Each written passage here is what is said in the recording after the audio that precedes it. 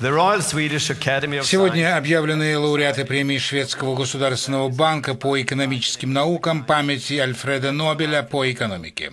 Им стали американские ученые Юджин Фама, Ларс Петер Хансен и Роберт Шиллер за эмпирический анализ цен активов. Премия Госбанка Швеции памяти Нобеля юридически Нобелевской не является, потому что она была основана только 42 года назад по случаю 300-летия этого банка. Сам же Нобель в своем завещании об экономистах никаких указаний не оставлял.